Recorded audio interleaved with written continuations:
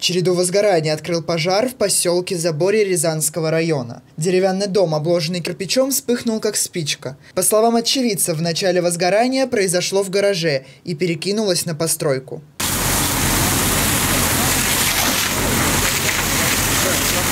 Также 4 ноября в поселке Агропустынь горела школа. В момент пожара в учебном заведении людей не было и никто не пострадал. 4 ноября в 23 часа 50 минут поступило сообщение о пожаре на улице Комсомольской, села Агропустынь Рязанского района. На момент прибытия горело здание начальной школы.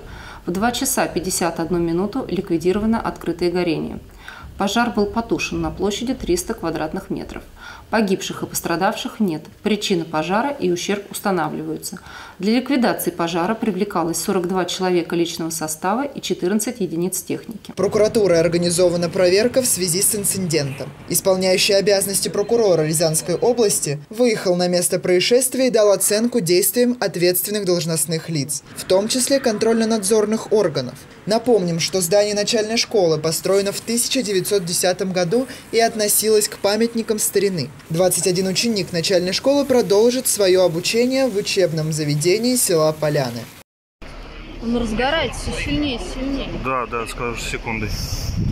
6 ноября в 19 часов 35 минут на пульт диспетчера поступило сообщение о пожаре, о загорании квартиры в жилом доме в городе Рязани на улице Гоголя. Площадь пожара составила 18 квадратных метров. Пожар ликвидирован в 20 часов 52 минуты. Спасено 2 человека. Эвакуировано 20 человек. Из них двое детей. В результате пожара погиб мужчина 1963 года рождения. Всего же за период с 1 по 7 ноября на территории нашего региона было ликвидировано 47 пожаров. Пострадало 3 человека и погибло 4 человека. 24 постройки было уничтожено огнем. Герман Гущин, Михаил Лазуткин, телекомпания «Город».